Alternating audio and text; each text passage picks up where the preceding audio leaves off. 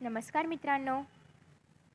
Welcome to S class education by Suhani आज आपण पाहणार आहोत eleven standard maths part one lesson number one that is angle and its measurement या लेसनची quick revision so quick रिव्हिजनमध्ये आपण जे काही इम्पॉर्टंट टॉपिक्स आहेत त्याच्याबद्दल थोडक्यात डिस्कशन करणार आहोत. हा चॅप्टर मी पूर्ण अपलोड केलेला आहे. त्याच्यामध्ये आपण मिसलेनियस पण पाहिलेलं आहे. जे एक्सरसाइजमधले क्वेश्चन्स आहेत ते देखील पूर्ण पाहिलेले आहेत. आणि आय होप की तुम्ही ते व्हिडिओज पाहिले असतील. जर नसतील पाहिले तर या ठिकाणी एक आय आयकॉन आहे. त्यावर जाऊन तुम्ही ते व्हिडिओ बघू शकता. सो या चॅप्टरमध्ये सगळ्यात पहिला पार्ट येतो तो म्हणजे डायरेक्ट डायरेक्टेड अँगल नेक्स्ट आहे अँगल्स ऑफ डिफरंट मेजरमेंट्स नंतर आहे units of measure of an angle length of an arc of of a circle याच्यामधला काही पार्ट जो आहे तर तो या इयरसाठी म्हणजे ट्वेंटी ट्वेंटी टूसाठी रिड्यूस झालेला आहे. तो आपण नाही पाहणार आहोत कारण तो ऑब्विसली रिड्यूस्ड आहे. सो तो आपण स्किप करणार आहोत. आणि नेक्स्ट आहे area of a sector of a circle यामधलाही काही पार्ट रिड्यूस झालेला आहे. सो ते आपण त्या त्या पेजवरती आल्यानंतर पाहूयाच. पहिल्यांदा आपण पाहतोय डायरेक्टेड अँगल थोडक्यात आपण पाहणार आहोत. सो सपोज की हा आहे आपला angle that is A O B मग आता या अँगलमध्ये जेव्हा मी हा अँगल ड्रॉ करणार आहे तर तेव्हा मी हा अँगल कसा ड्रॉ करणार? एक मी टेक सम ब्लँक स्पेस की ज्या ठिकाणी मला अँगल ड्रॉ करता येईल. ओके या ठिकाणी आपण पाहूया. सगळ्यात पहिल्यांदा तर मी एक रे ड्रॉ करणार आहे. या रेला नाव द्यायचं आहे ओ ए आणि इथून मी दुसरा एक रे ड्रॉ करणार आहे आणि याला मी नाव देणार आहे बी सो हे ओ बी एक रे झाला आणि ओ ए एक रे झाला. सो आता हा जो रे आहे हा मी सगळ्यात पहिल्यांदा ड्रॉ केला होता. याला मी म्हणणार आहे इनिशियल आर्म आणि हा जो रे आहे तो मी नंतर ड्रॉ केला. याला आपण म्हणणार आहोत टर्मिनल आर्म ओके सो याला आपण म्हणणार आहोत टर्मिनल आर्म आता माझा जो अँगल आहे तो कसा येईल असा येईल ऑब्वियसली कारण मी आधी हा रे ड्रॉ केला आणि मग मी हा रे ड्रॉ केला. सो अँगल कसा येणार आहे असा येणार आहे. म्हणजे याचा अर्थ अँगल कसा आहे क्लॉकवाईज आहे की अँटी क्लॉकवाईज आहे? घड्याळ्याच्या उलट दिशेने आहे म्हणजे अँटी क्लॉकवाईज आहे जेव्हाही कधी अँगल अँटी क्लॉकवाईज असतो तेव्हा तो अँगल नेहमी पॉझिटिव्ह असतो. याचा अर्थ हा अँगल कसा येणार आहे पॉझिटिव्ह येणार आहे. याचं नाव लिहिताना कसं लिहायचं? तर जेव्हा आपण डायरेक्टेड अँगल लिहितो तेव्हा आपण एक असं सिम्बॉल ड्रॉ करतो आणि आधी आपण इनिशियल आर्मचं नाव लिहितो. म्हणजेच काय? ए ओ. आणि त्याच्यानंतर आपण जो टर्मिनल आर्म आहे त्याचं घेणार ते त्याला या ठिकाणी ॲड करणार आहोत बी म्हणजे डायरेक्टेड अँगल ए ओ बी असं याचं नाव तयार होतं. मला माहिती आहे की थोडासा व्हिडिओ फास्ट होतो आहे सो तुम्ही व्हिडिओची स्पीड देखील रिड्यूस करू शकता. सो ही फास्ट रिव्हिजन आहे त्याच्यामुळे तुम्ही एक्झामच्या आधी पाहत असाल सो मी फास्ट फास्ट घेते ओके सो हवं तर याचा स्क्रीनशॉट घेऊ शकता एवढं मी चांगलं नाही लिहिलं आहे बट तुम्ही रिवाईज करू शकता. सो हे झालं एका अँगलबद्दल आताच आता असं केलं मी की मी हा जो आहे याला मी माझा इनिशियल आर्म मानला. ओके हा काय आहे माझा? रे ओ बी. ओके हा जो A B sorry O B रे आहे याला मी माझं इनिशियल आर्म मानलं. ओके आणि जो दुसरा टर्मिनल आर्म आहे तो मी इथे ड्रॉ केला जो की आहे ओ ए. मग माझा अँगल कसा होईल? ऑब्वियसली असा होणार कारण हा इनिशियल होता. हा टर्मिनल आहे म्हणजे अँगल कसा होणार आहे? असा होणार आहे.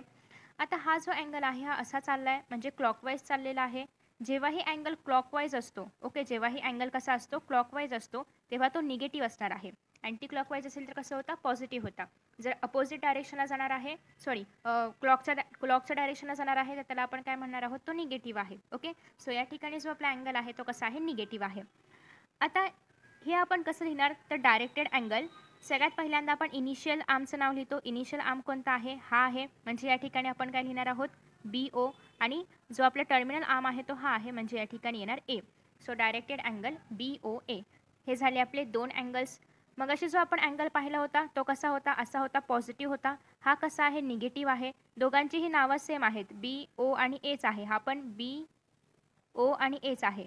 पण आपण असं म्हणू शकतो का की directed angle A O B is equal to directed angle B O A असं आपण म्हणू शकतो का? हो नाही म्हणू शकत.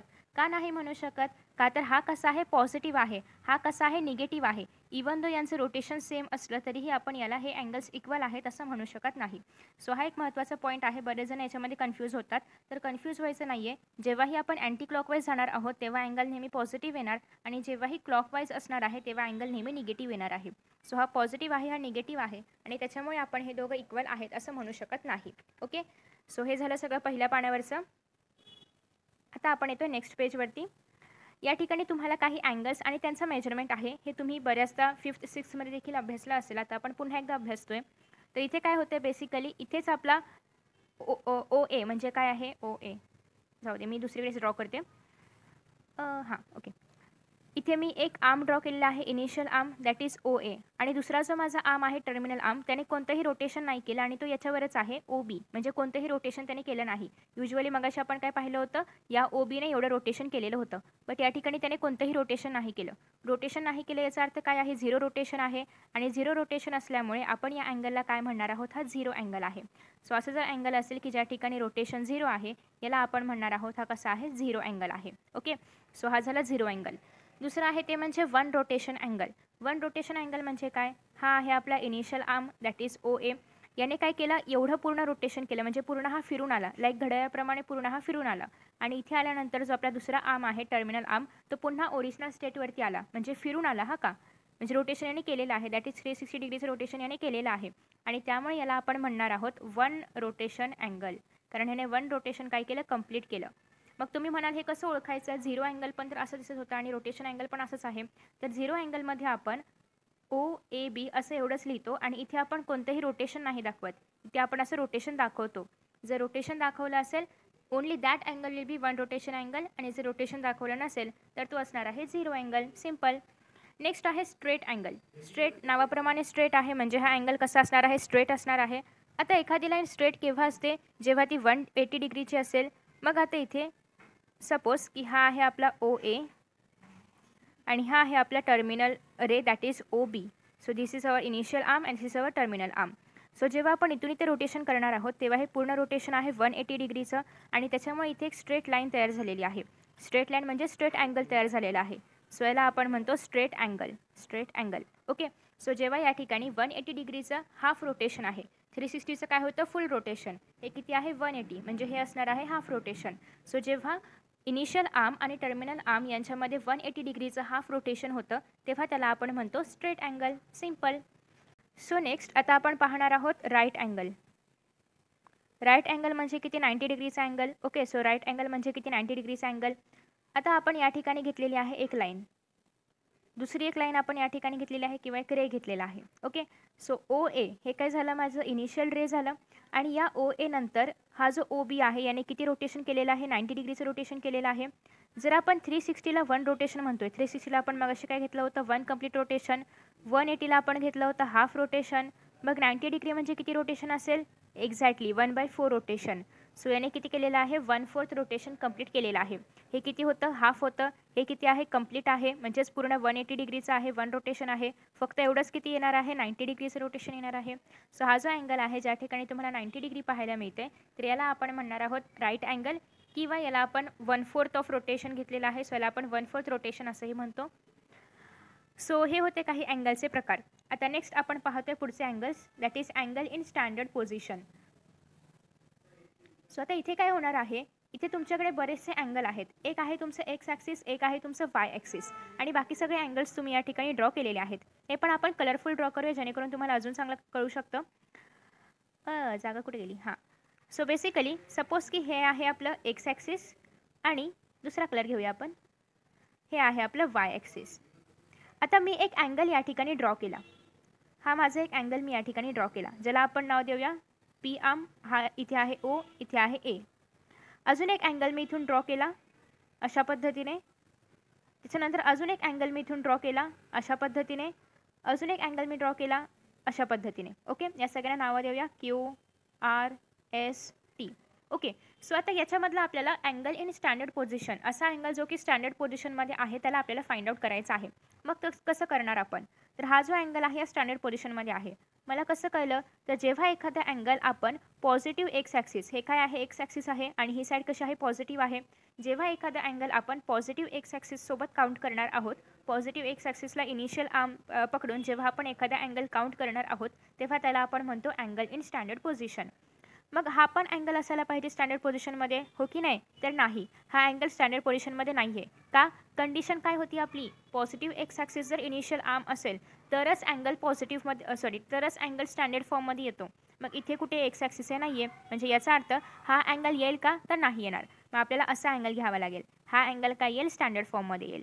मग आता या अँगलला आपण कसं स्टँडर्ड फॉर्ममध्ये करू शकतो? तर असं येऊन करू शकतो. आपला आपली कंडिशन काय आहे? की आपल्याला काय पाहिजे? Positive X axis as a initial arm पाहिजे. मग टर्मिनल कुठे का असतं ना? ओके सो बेसिकली ही कंडिशन फुलफिल झाली पाहिजे. म्हणजे तुम्ही यालाही घेऊ शकता स्टँडर्ड फॉर्ममध्ये तुम्ही यालाही घेऊ शकता स्टँडर्ड फॉर्ममध्ये फक्त पॉझिटिव्ह एक्सवरून येता आलं पाहिजे. मग तो अँगल कसा होतो? स्टँडर्ड फॉर्ममध्ये होतो. सिंपल आफ्टर दॅट नेक्स्ट आहे अँगल इन क्वाड्रँट क्वाड्रँट याचा अर्थ काय? तर तुम्ही कॉर्डिनेट सिस्टीममध्ये क्वाड्रँट पाहिले असतील. सो हे असतात आपले क्वाड्रँट्स हा आहे आपला एक्स ॲक्सिस ही आहे वाय ॲक्सिस आणि हा असतो first quadrant second quadrant third quadrant आणि फोर्थ क्वाड्रंट आता सपोज की एखादा अँगल इथे आहे. कोणत्या क्वाड्रंटमध्ये आहे मग हा? फर्स्ट क्वाड्रंटमध्ये आहे.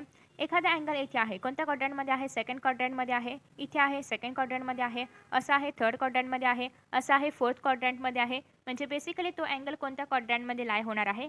कोणता अँगल म्हणजे काय? टर्मिनल आर्म त्या अँगलचं टर्मिनल आर्म ज्या कॉर्ड्रँटमध्ये लाय होईल त्या कॉर्ड्रँटमध्ये तो अँगल असणार आहे. सिंपल आता याचं टर्मिनल आर्म कुठे आहे? फर्स्ट कॉर्ड्रँटमध्ये आहे. याचं कुठे आहे? सेकंडमध्ये आहे. याचं कुठे आहे? थर्डमध्ये आहे. सो त्यानुसार तो तो अँगल त्या त्या कॉर्ड्रँटमध्ये असणार आहे. आफ्टर दॅट नेक्स्ट आहे कॉर्ड्रँटल अँगल्स कॉर्ड्रँटल अँगल्समध्ये काय होणार आहे? आपले जे अँगल्स आहेत म्हणजे जेही या ठिकाणी आपण अँगल्स घेणार आहोत ते कशामध्ये असणार आहेत? अराउंड कॉड्रँक म्हणजे त्या कॉड्रँट्समध्ये फिरणार आहेत. म्हणजे कसं? की हा जो अँगल आहे म्हणजे हा असणार आहे आपला इनिशियल आर्म इनिशियल आर्ममधून एकतर इथून इथे एक अँगल असू शकतो किंवा इथून असं एक अँगल असणार. म्हणजे जे आपले ॲक्सिस आहेत त्या ॲक्सिसलाच इनिशियल आर्म मानून जेव्हा आपण अँगल तयार करणार आहोत तेव्हा त्याला आपण म्हणतो कॉड्रँटल अँगल म्हणजे मग याला आपण इनिशियल आर्म मानलं आणि इथे आपण अँगल घेतला टर्मिनल अँगल सो हा एक झाला टर्मिनल अँगल आता पुन्हा आपण यालाच इनिशियल आर्म मानलं आणि इथे आपला टर्मिनल आर्म घेतला तर हा पण काय झाला? क्वाड्रँटल अँगल सपोज की मी इनिशियल आर्म घेतलं आणि मी याला टर्मिनल आर्म घेतलं तरी पण हा काय झाला? क्वाड्रँटल अँगल झाला. आता मी याला इनिशियल आर्म घेतलं आणि याला मी टर्मिनल आर्म घेतलं सो हा पण काय झाला? क्वाड्रँटल अँगल झाला. सो बेसिकली जेव्हा आपण ॲक्सिसवरतीच अँगल्स ड्रॉ करणार आहोत तेव्हा त्याला आपण म्हणणार आहोत क्वाड्रँटल अँगल नेक्स्ट आहे को टर्मिनल हा खूप महत्त्वाचा भाग आहे कारण याच्यावरती तुमच्या फर्स्ट एक्सरसाइजमध्ये क्वेश्चन्स विचारलेले आहेत. सो को टर्मिनल अँगल म्हणजे काय? असे अँगल्स की जेव्हा आपण दोन अँगल्स सबट्रॅक्ट करणार तेव्हा आपल्याला थ्री सिक्स्टी सेवन ट्वेंटी किंवा थ्री सिक्स्टीचे पुढचे मल्टिपल्स मिळतील. म्हणजेच काय? की सपोज मी एक अँगल घेतलेला आहे सिक्स्टी आणि दुसरा अँगल घेतलेला आहे थ्री सिक्स्टी आता मला काय करायचं आहे? बिगर अँगलमधून स्मॉलर अँगल सबट्रॅक्ट करायचा आहे. म्हणजेच थ्री सिक्स्टीमधून मी सिक्स्टी सबट्रॅक्ट करणार. मला काय मिळालं? थ्री हंड्रेड थ्री हंड्रेडला थ्री सिक्स्टीने भाग जातो का? नाही जात. म्हणजे हे को टर्मिनल नसणार आहे. ओके तुम्ही जर अजून एक एक्झाम्पल घेतलं सपोज की आपल्याकडे एक्झाम्पल आहे थ्री नाईंटी आणि दुसरा अँगल आहे तो म्हणजे मायनस थ्री थर्टी डिग्रीचा ओके सो आता तुम्ही याला कसं सॉल्व करणार? तर बेसिकली तुम्ही थ्री नाईंटीमधून थ्री थर्टी सबट्रॅक्ट करणार आहात. वजा वजाचा काय होईल? अधिक साईन होईल. म्हणजे या ठिकाणी किती झालं? झिरो वजा वजा काय होईल? अधिक होईल. या ठिकाणी होणार आहे सात आणि तीन बारा तीन आणि तीन सहा आणि एक सात. सातशे वीस. सेवन ट्वेंटी थ्री थ्री सिक्स्टीचं मल्टिपल आहे का? तर आहे. टू इंटू थ्री सिक्स्टी जर तुम्ही केलं तर तुम्हाला काय मिळतं? सेवन ट्वेंटी त्याच्यामुळे हा जो अँगल आहे हा कसा आहे? आपला को टर्मिनल अँगल आहे. सिंपल ओके सो या ठिकाणी आपला पहिला टॉपिक संपलेला आहे. आता आपण पाहतोय मेजर्स ऑफ अँगल आता तुम्ही आत्तापर्यंत फक्त अँगल्स डिग्रीमध्ये मेजर केले होते. बट आता अजून एक सिस्टीम आहे. एकतर डिग्री सिस्टीम आहे की जेव्हा आपण असं म्हणतो की एखादा अँगल नाईंटी डिग्रीचा आहे थर्टी डिग्रीचा आहे आणि सो ऑन पण अजून एक सिस्टीम आहे ती म्हणजे रेडियन सिस्टम रेडियन सिस्टीम आपण बेसिकली सर्कलसाठी वापरतो बट इथे आपण तीही सिस्टीम पाहणार आहोत. याला रेडियनसोबतच सर्क्युलर सिस्टीम असंही म्हणतात. रेडियनमध्ये जेव्हा आपण अँगल लिहितो तेव्हा आपण pi by two radian pi by six radian असं लिहितो. जेव्हा आपण नाईंटी डिग्रीला सपोज की आपल्याला नाईंटी डिग्रीला रेडियनमध्ये कन्वर्ट करायचं आहे तर ते असं होतं म्हणजेच पाय बाय टू रेडियन बरं आता आपल्याला कसं कळणार की नाईंटी डिग्री म्हणजे पाय बाय टू असतं? तर त्यासाठी एक फॉर्म्युला आहे. जेव्हा आपण सपोज की थिटा अँगल आहे. जेव्हा आपण डिग्रीमधून जाणार आहोत oh, ओ सॉरी जेव्हा आपण डिग्रीमधून जाणार आहोत रेडियनमध्ये ओके डिग्रीमधून कुठे जायचं आहे? रेडियनमध्ये तेव्हा आपण काय करणार आहोत? एखादा जो आपला अँगल आहे नाईंटी डिग्रीचा अँगल आहे त्याला आपण मल्टिप्लाय बाय करणार आहोत पाय बाय वन एटी म्हणजे नाईंटी डिग्रीमधून मला न्यायचं आहे रेडियनमध्ये सो मी काय करणार? Multiply by pi by one eighty आणि जर माझ्याकडे रेडियनचा अँगल आहे आणि मला कन्वर्ट करायचं आहे डिग्रीमध्ये म्हणजेच थिटा डिग्रीमध्ये तर मग मी काय करणार आहे? सपोज की जर तुम्ही नाईंटी डिग्रीचं याच्यामध्ये कन्वर्जन केलं तर काय होणार आहे? Pi by two pi by टूचं conversion मला करायचं आहे डिग्रीमध्ये तर मी काय करणार आहे? Pi by two multiply by one eighty by pi मग पाय पाय निघून जाईल आणि तुम्हाला पुन्हा या ठिकाणी नाईंटी डिग्री मिळणार आहे. सो बेसिकली जेव्हा आपण डिग्री टू रेडियन जातो तेव्हा आपण multiply by pi by one eighty करतो आणि जेव्हा आपण रेडियन टू डिग्री जातो तेव्हा आपण multiply by one eighty by pi करतो. सिंपल सो तुम्ही हे लक्षात ठेवायचं आहे? आफ्टर दॅट नेक्स्ट आहे आता बऱ्याचदा जेव्हा आपण डिग्री म्हणतो आहे वन डिग्री म्हणतो आहे वन डिग्री याचा अर्थ काय? सिक्स्टी मिनिट हे तुम्ही नकाशामध्ये वगैरे पण पाहिलं असेल भूगोलामध्ये. सो वन डिग्री म्हणजे काय? सिक्स्टी मिनिट वन मिनिट म्हणजे किती? किती असतात? सिक्स्टी सेकंड सो अशा पद्धतीने हे कन्वर्जन आहे. हेही तुम्हाला एक्सरसाइज वन पॉईंट वनमध्ये बऱ्याच ठिकाणी वापरायचं आहे. सो वन डिग्री म्हणजे किती? सिक्स्टी मिनिट आणि वन मिनिट म्हणजे किती? तर सिक्स्टी सेकंड सिंपल त्यासोबतच जर तुम्ही या ठिकाणी पाहिले तर रेडियनबद्दल बरीचशी माहिती आहे जी तुम्ही रीड करू शकता.